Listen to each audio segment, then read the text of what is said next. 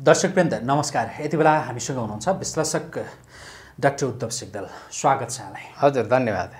फेरि देशमा राज संस्था फर्काउँदैछ फर्काउने त्यो प्रयास भइरहेको छ भन्ने कुरा आइरहेको छ। सडकमा एकाध प्रदर्शनहरू पनि भइरहेका छन्। तपाईँ कस्तो देखिरहनु भएको छ माहौल यति बेला? मैले राज संस्थाको पक्षको माहौल भन्न भन्दा पनि तपाईँको अहिलेको चाहिँ जुन राजनीतिक नेतृत्व हो त्यो राजनीतिक नेतृत्वको चाहिँ जुन निराशाको माहौल छ त्यो निराशाको माहौलमा चाहिँ राज संस्थावादीहरूले कुनै न कुनै रूपमा चाहिँ त्यहाँनिर चाहिँ आफ्नो स्पेस चाहिँ खोज्न खोजेको चाहिँ स्थिति हो।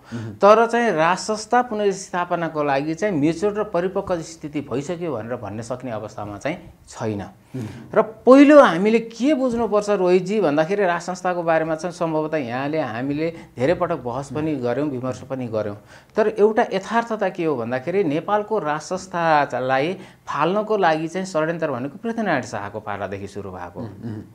त्यस कारण राज संस्थालाई चाहिँ दुई हजार बैसठी त्रिसठी पछि चाहिँ जुन संविधान सभाको चाहिँ पहिलो बैठक दुई हजार पैँसठी सालको त्यो पहिलो बैठकले चाहिँ राज संस्था फाल्दै गर्दाखेरिमा चाहिँ त्यसको इतिहासलाई हामीले हेऱ्यौँ भने राज संस्थालाई फाल्नका कति षड्यन्त्रहरू नेपालमा भए त्यो षड्यन्त्रहरूको कारणले गर्दाखेरि चाहिँ मलाई लाग्छ त्यो शक्तिले चाहिँ नेपालमा राज संस्था पुनर्स्थापनाको लागि चाहिँ कुनै स्पेस दिन्छ भन्ने कुरा चाहिँ मलाई लाग्दैन।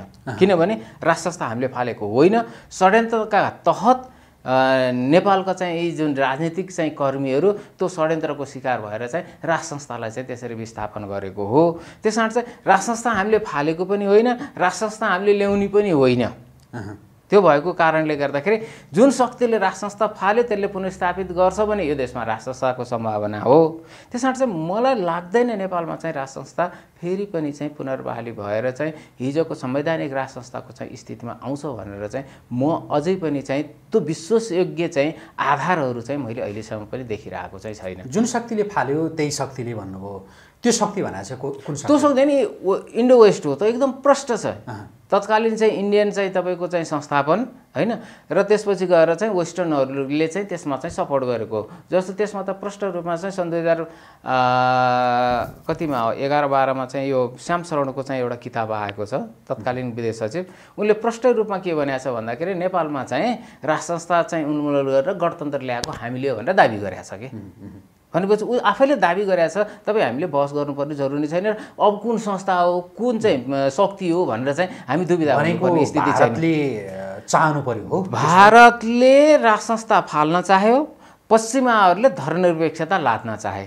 यो दुईटाको चाहिँ गठजोडले गर्दाखेरि नेपालमा चाहिँ गणतन्त्र आएको हो धर्मनिरपेक्षता आएको। हामीले यसलाई स्पष्ट रूपमा चाहिँ बुझ्नुपर्छ न कि बैसठी त्रिसठीको को कुनै पनि नेपाली नागरिकको आन्दोलनको कुनै पनि मुद्दै होइन। त्यसो भए यति बेला नि जस्तो भारतले चाहिँ के चाहिरहेको छ त? नेपालमा राज संस्थाका मामलामा ऊ पोजिटिभ देखिन्छ यति मलाई लाग्छ भारतले कोर्स करेक्सन गर्न खोजे जस्तो चाहिँ देखिन्छ। तर चाहिँ त्यो कोर्स करेक्सन गर्नको लागि चाहिँ पश्चिमाहरू कुनै न कुनै रूपमा चाहिँ उसको लागि चाहिँ रोकआउटको रूपमा चाहिँ आएका छन्। भारतले मात्रै चाहेर हुँदैन त्यसो भए। भारतले मात्रै चाहेर हुँदैन। किनभने पश्चिमाहरूको यति ठुलो चाहिँ पहुँच र प्रभाव नेपालमा छ कि चाहिँ भारतले मात्रै चाहँदामा चाहिँ नेपालमा चाहिँ हिन्दू राष्ट्र कायम हुने अनि राष्ट्र संस्था पुनर्स्थापना हुने भन्ने कुराहरू चाहिँ भारतको एक्लो प्रयासले चाहिँ हुँदैन। किनभने हिजो फाल्ने क्रममा पनि यी दुईवटाको संयुक्त प्रयासले भएको हो। त्यसरी ल्याउने कुरामा पनि चाहिँ यी दुईवटा कुरा यी दुईवटा चाहिँ संयुक्त रूपमा आयो भने चाहिँ त्यो अवस्थामा चाहिँ हिन्दू राष्ट्र कायम हुने र हिन्दू राष्ट्र कायम भने र अल्टिमेटली चाहिँ राज संस्था पनि चाहिँ कायम हुन सक्छ। त्यो भएको कारणले गर्दाखेरि भारतको एक्लो प्रयासले चाहिँ सम्भव छैन। तर भारतले कोर्स करेक्सन गर्न चाहिरहेको छ कोर्स करेक्सन गर्न सकिरहेको छैन। भारतले कोर्स करेक्सन गर्न चाहिरहेको छ तर सकिरहेको। सकिरहेको छैन। उसले चाहिरहेको चाहिँ कस्तो हो त? होइन उसले चाहिरहेको गर्ने नेपालमा चाहिँ हिन्दू राष्ट्र कायम गर्ने। त्यति उसको मात्रै? चाहना उसको त्यति मात्रै हो। एक तपाईँको त एउटा स्पष्ट के हुनुहोस् भने रोहितजी तपाईँको चाहिँ चारवटा चाहिँ मेजर चाहिँ उपलब्धि भनेर भनिएको छ नि संविधानको। सङ्घीयता गणतन्त्र धर्मनिरपेक्षता समावेशिता भनेर भनियो नि। तपाईँ एउटा मात्रै चाहिँ त्यहाँबाट उक्काइदिनु हो भने बाँकी चारवटा त्यसै ढलेर गइहाल्छन् कि? त्यो भएको कारणले गर्दाखेरि भारतको पनि रणनीति के हो भने नेपालमा चाहिँ हिन्दू राष्ट्र मात्रै कायम गर्न सकिएन अरू बाँकी कुरा त त्यसै हटेर गइहाल्छन् नि भन्ने कुरा उसको ठाडो बुझाइ तर फेरि नेपालमा हिन्दू रा नेपाललाई हिन्दू राष्ट्र घोषणा गर्दै गर्दाखेरि फेरि राज संस्था पनि फर्किन्छ भन्ने त्यसका लागि एउटा आधार तयार हुन्छ भन्ने कुरा हो भने त यहाँले भने जस्तो यदि भारतले नै राज संस्था हटाउनमा भूमिका त्यति बेला खेलेको थियो भनेदेखि त उसका लागि त प्रत्युत्पादक हुने रहेछ। किन गर्छ होला त होइन यस्तो छ भारतको चाहिँ प्रष्ट दुईवटा बुझाइ छ है। भारतले के हो भन्दाखेरि नेपालमा जति पनि चाहिँ मध्य पहाडी पहाडी र चाहिँ पर्वतीय चाहिँ जुन समुदायमा चाहिँ भारत विरोधी चाहिँ जुन गतिविधि चाहिँ अथवा भारत विरोधी चाहिँ जुन सेन्टिमेन्ट हो त्यो बढाउनको लागि चाहिँ नेपालको चाहिँ राज संस्था र नेपालका कम्युनिस्टहरूको चाहिँ अहम भूमिका छ है भन्ने कुरा उनीहरूको चाहिँ प्रष्ट बुझाइ छ भारतको। तर भारतको अहिले के भयो भन्दाखेरि नेपालबाट चाहिँ धेरै नै चाहिँ डिफेन्सिभ हुने स्थिति चाहिँ जुन निर्माण भयो चाहे त्यो संविधान निर्माणको क्रममा होस् अथवा चाहिँ चुचे नक्साको चाहिँ क्रममा होस् होइन त्यो डिफेन्सिभ हुने क्रममा चाहिँ उसले के बुझ्यो त भनेर भन्दाखेरि चाहिँ होइन। नेपालमा चाहिँ राज हुँदाखेरि चाहिँ एक खालको चाहिँ डिल गर्न सजिलो हुँदो रहेछ भन्ने कुरा त्यो उसले पनि महसुस गरेको छ। भने दोस्रो चाहिँ महत्त्वपूर्ण कुरा के हो भन्दाखेरि भारतमा पनि संस्थापन परिवर्तन भएको छ। हिजो जुन राज फाल्ने चाहिँ संस्थापन हो त्यो संस्थापनको सट्टामा चाहिँ त्यहाँनिर चाहिँ सांस्कृतिक राष्ट्रवादको चाहिँ संस्थापन भारतमा आएको छ। त्यसरी त्यो भारतमा आएको चाहिँ जुन परिवर्तन हो त्यो परिवर्तनले पनि चाहिँ कम्तीमा पनि नेपालमा चाहिँ हामीले चाहिँ आफ्नो नीतिमा चाहिँ पुनर्विचार गरेनौँ भने अर्थात् वान पिलर पोलिसीमा जुन आज हामी गइरहेका छौँ त्यसले हामीलाई डिफेन्सिभ बनायो भने हामी टु पिलर पोलिसी होइन? संवैधानिक राष्ट्र संस्था र बहुदलीय प्रजातन्त्र। यो पिलर यसमा चाहिँ गयौँ भने चाहिँ पक्कै पनि चाहिँ भारतको चाहिँ इन्ट्रेस्टलाई पनि चाहिँ नेपालमा चाहिँ सर्भ हुनको लागि चाहिँ सहयोग पुग्ने र चाहिँ भारतका नेपालका कारणले गर्दाखेरि चाहिँ भारतको चाहिँ राष्ट्रिय सुरक्षामा चाहिँ कुनै किसिमको पनि चुनौती नहुने भन्ने खालको उनीहरूको चाहिँ जुन बुझाइ हो त्यो बुझाइको कारणले गर्दाखेरि चाहिँ भारतको आजको संस्थापन चाहिँ कम्तीमा पनि कोर्स करेक्सनको पक्षमा चाहिँ छ तर सकिरहेको छैन। उत्तरी छिमेकी चिन चाहिँ के चाहिरहेको छ? उत्तरी छिमेकी चिन त प्रष्ट रूपमा चाहिँ उसले चाहिँ पुरानो चाहिँ संवैधानिक राज संस्था नै हो। अरू बाँकी उसलाई धर्म संस्कृति योसँगको उसलाई सरकारको विषय उसलाई उसलाई एउटा चाहिँ यसलाई चाहिएको छ। किनभने चिनको लागि नेपालको राज संस्था जस्तो भरपर्दो मित्र चिनले अरू कोही पनि किनभने पोलिटिकल पार्टिजहरू यो भने चाहिँ त पश्चिम र दक्षिणका चाहिँ यी चाहिँ एक हिसाबले भन्ने भने चाहिँ उनका इसारामा चाहिँ काम गर्ने चाहिँ शक्ति हुन् भनेर चाहिँ चिनको राम्रो ठम्म्याइ बुझाइ भएको कारणले गर्दाखेरि चिनले आफ्नो चाहिँ साथी प्राप्त गर्न नसकेको अवस्थामा चाहिँ उसले राज संस्थालाई नै चाहिँ एउटा भरपर्दो चाहिँ मित्रको रूपमा लिने भएको कारणले गर्दाखेरि त ऊ त नेपालमा राज संस्था पुनर्वाली हुँदै गर्दाखेरिमा चाहिँ त निकै नै चाहिँ हर्षित हुने अवस्था चाहिँ पक्कै पनि हो। त्यसमै एक हिसाबको स्वार्थ चिन भारतको मिल्छ होइन? यो मामलामा। मिल्छ यी दुई शक्तिले चाहे भनेदेखि पश्चिमाहरूले रोक्न सक्छन्। सक्दैनन्।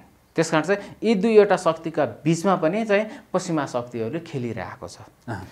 विशेष गरेर चाहिँ भारतलाई चाहिँ जुन जसरी चाहिँ एउटा चाहिँ सम्मान दिने त्यसपछि भारतसँगको चाहिँ विशेष किसिमका चाहिँ सम्बन्धहरू स्थापित गर्ने भारतसँग चाहिँ सैन्य सम्झौताहरू गर्ने होइन जुन अमेरिकाले चाहिँ गरिरहेको छ त्यो सम्पूर्ण चाहिँ कुरा के हो त भन्दाखेरि चाहिँ सकेसम्म यो चिनको नजिकतिर नजाओस्। यदि ऊ चिन र चाहिँ भारत एक ठाउँमा बसेर चाहिँ निर्णय गर्यो भने त पश्चिमाहरूको केही पनि लाग्दैन नि त। त्यो त हामीले यसभन्दा अगाडि पनि देखेको कुरा हो।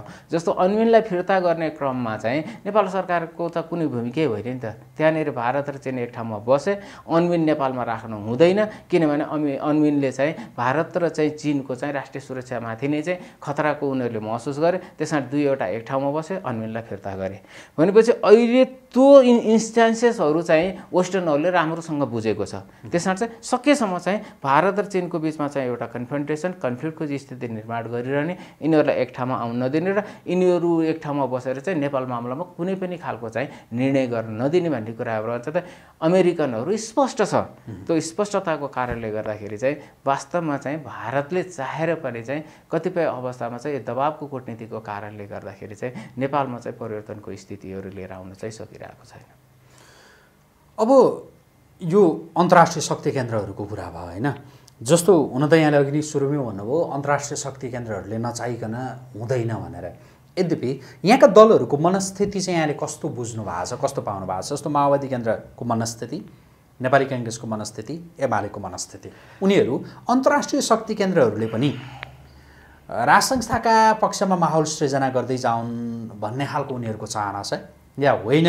जुन परिवर्तन देशमा भएको छ यसैलाई बलियो बनाउने गरी चाहिँ यिनीहरूले भूमिका खेलिदियो हुन्थ्यो भन्ने यिनीहरूको पनि चाहना छ। नेपालको राजनीतिक दलहरूलाई चाहिँ सरसर्ती हेर्दै गर्दाखेरिमा चाहिँ माओवादीको प्रधानमन्त्रीकै हैसियतमा चाहिँ जुन अभिव्यक्ति आए अब यो बर्खा सकिसकेपछि चाहिँ लाखौँ मान्छे सडकमा लिएर आएर चाहिँ आन्दोलन गर्छु भनेर कसका विरुद्धमा आन्दोलन गर्ने हो मलाई थाहा छैन होइन? तर उहाँको त्यो चाहिँ अभिव्यक्ति के हो त भन्दाखेरि राज संस्थाको बारेमा चाहिँ जुन एउटा चाहिँ राष्ट्रिय अन्तर्राष्ट्रिय एक खालको माहौल बन्ने जुन स्थिति निर्माण भइरहेको छ नि हो त्यसबाट चाहिँ तर्सित र भयभीत भएर चाहिँ पुष्पमल प्रचण्डले अहिलेकै यही व्यवस्थालाई चाहिँ कन्टिन्युएसन गर्नको लागि उहाँले त्यो खालको चाहिँ अभिव्यक्ति दिनुभएको भन्ने कुरा चाहिँ हामी स्पष्टै बुझ्न सक्छौँ। त्यो भएको कारणले चाहिँ पुष्पकमल दाहाल यदि यो व्यवस्था भएन भने त उहाँको राजनीतिक वजुद नै रहँदैन। किन भन्दाखेरि यही व्यवस्था लिएर आउनको लागि भनेर चाहिँ उहाँले इतिहासमा चाहिँ सत्रौँ हजार मान्छेको चाहिँ एक हिसाबले भने चाहिँ मृत्यु भयो हत्या भए होइन? त्यसपछि लाखौँ घरबारविहीन भए लाखौँ अङ्गभङ्ग भए होइन? त्यो कष्टमा चाहिँ त्यो एउटा ऐतिहासिक चाहिँ घटनाको चाहिँ पृष्ठभूमिमा चाहिँ आजको यो व्यवस्थासम्म आएको छ भने चाहिँ उहाँ चाहिँ त्यो ऐतिहासिक दायित्वबाट चाहिँ भाग्न नसकेको कारणले गर्दाखेरि चाहिँ यही व्यवस्थालाई चाहिँ कन्टिन्यू गर्नुपर्ने उहाँको चाहिँ बाध्यात्मक स्थिति हो। त्यस कारण पुष्पल दाल प्रचण्ड चाहिँ परिमार्जन गर्ने पक्षमा हुनुहुन्न। हो। एउटा चाहिँ के भने भारतको चाहिँ चर्को दबावको कारणले गर्दाखेरि चाहिँ उहाँले कम्ती पनि गेरु वस्त्र पहिरन गरेर नेपालमा चाहिँ हिन्दू राष्ट्रको बारेमा चाहिँ बहस छलफल गर्न सकिन्छ भन्ने खालको सङ्केत चाहिँ दिनुभएको छ। तर गणतन्त्रकै विकल्पमा चाहिँ संवैधानिक राज संस्थाको बारेमा चाहिँ पुष्पमल दाहाल प्रचण्डजीको मलाई लाग्दैन त्यो मनस्थिति छ भन्ने कुरा। एमाले र र अब बाँकी रह्यो बाँकी रह्यो एमाले भनेको कम्युनिस्ट हो। उसले कहिले चाहिँ रामको चाहिँ खोल ओढ्ला कहिले चाहिँ उसको खोल ओढ्ला होइन कहिले चाहिँ जलहरीको चाहिँ पनि कुराहरू गर्ला। हो कम्युनिस्ट। त्यस कारण चाहिँ एमालेबाट पनि चाहिँ नेपालमा चाहिँ संवैधानिक राज संस्था नेपालको चाहिँ सांस्कृतिक राष्ट्रवादको बारेमा नेपाल नेकपा एमालेबाट पनि चाहिँ कुनै किसिमको चाहिँ ऊ आउँछ भन्ने कुराहरू सकारात्मक कुराहरू आउँछ भन्ने कुराहरू त्यसमा अपेक्षै गर्न सकिँदैन। मात्रै एमाले भने त के हो भन्दाखेरि के गर्दा के गर्दा सत्ता प्राप्ति हुन्छ? त्यो तर्फ मात्रै लाग्ने हो। त्यस कारण संवैधानिक राज संस्थाको बारेमा चाहिँ एमाले पनि खुलेर आउने स्थिति हुँदैन किनभने एमालेको नेतृत्व खुलेर आयो भने चाहिँ त्यो पार्टी विभाजनतिर जान्छ। किनभने त्यहाँनिर चाहिँ गणतन्त्रवादीहरूको धार निकै नै मजबुत छ। त्यो भएकोले चाहिँ एमालेबाट पनि त अब बाँकी रह्यो नेपाली काङ्ग्रेस। नेपाली काङ्ग्रेसको चाहिँ स्पष्ट रूपमा अस्ति रामचन्द्र पौडेलले पनि के भयो भन्दाखेरि चाहिँ आज हामी चाहिँ जुन बाटो हिँडिरहेका छौँ जुन व्यवस्था प्रक्रिया जुन लोकतान्त्रिक चाहिँ मूल्य पद्धतिमा हामी चाहिँ छौँ यो भनेको बिपीको परिकल्पना अनुसार बिपीको सोच अनुसार नै भएको हो भनेर रामचन्द्र पौडेलले भन्दै गर्दाखेरिमा चाहिँ यहाँनिर के देखिन्छ भन्दाखेरि काङ्ग्रेसको कुनै न कुनै रूपमा चाहिँ त्यो बुझाइ हो भन्ने खालको चाहिँ स्पष्टता त्यहाँ देखिन्छ। तर काङ्ग्रेस देशभित्र चाहिँ दुई धार पक्कै पनि छ। काङ्ग्रेसमा चाहिँ संवैधानिक राज संस्था बहुदलीय प्रजातन्त्रको पक्षमा चाहिँ उभिने एउटा चाहिँ जबरजस्त धार भएको कारणले गर्दाखेरि काङ्ग्रेसमा चाहिँ त्यो एक खालको चाहिँ खुला बहसको चाहिँ स्थिति रहन सक्छ। तर यति भन्दै गर्दाखेरिमा पनि अहिलेको चाहिँ जुन लिडरसिप छ नेपाली काङ्ग्रेसको त्यो लिडरसिप भनेको चाहिँ तपाईँको संवैधानिक राज संस्था अनि त्यसपछि गएर बहुदलीय प्रजातन्त्र हिन्दू राष्ट्रको पक्षमा चाहिँ उभिन सक्दैन। किन भन्दाखेरि चाहिँ उसलाई पनि यति धेरैतिरबाट चाहिँ घेरिएको छ कि चाहिँ ऊ पनि त्यहाँबाट आउन सक्ने स्थिति छैन। तर अब परिस्थिति के हो त भन्दाखेरि हामीले थेक्नै सकेनौँ। भन्ने चाहिँ यदि काङ्ग्रेस एमाले माओवादीलाई लाग्छ हाम्रो सत्ता चाहिँ सर्वनाश हुँदैछ भन्ने लाग्छ र संवैधानिक राष्ट्र सत्ता र बौद्धले प्रजातन्त्रलाई बोक्दै गर्दाखेरिमा चाहिँ यदि हामी फेरि पनि चाहिँ सत्तामा चाहिँ सहेलो हुन सक्छौँ भन्ने उनीहरूलाई चाहिँ लाग्छ भने फेरि यो राजनीतिक दल चाहिँ र यो नेतृत्व यस्तो हो कि चाहिँ आफ्नो सत्ता स्वार्थको लागि चाहिँ जहाँ जति बेला जे बोक्न पनि चाहिँ तयार रहन्छ। हुन्छ आजको लागि कुराकानी यति गरौँ। समय दिनुभयो धेरै धन्यवाद हस् यहाँले चाहिँ जुन यो मौका दिनुभयो यसका लागि चाहिँ यहाँलाई धेरै धेरै धन्यवाद।